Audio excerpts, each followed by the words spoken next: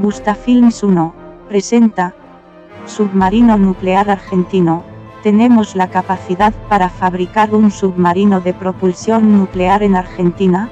La respuesta es sí. Lo más posible es modificar uno de los submarinos que ya tenemos, como el ARA Santa Fe S-43 o el ARA Santiago del Estero S-44.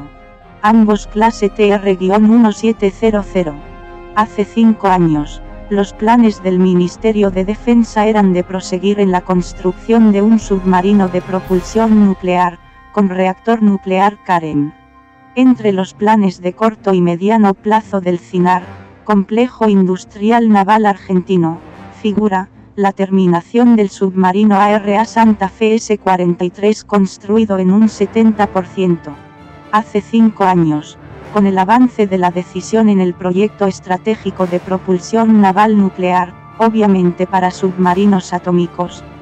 Para ello los científicos de la CNEA, Comisión Nacional de Energía Atómica, implementarán una adaptación del reactor mediano CAREM, al cual hay que reducirlo en su tamaño para poder instalarlo en un submarino.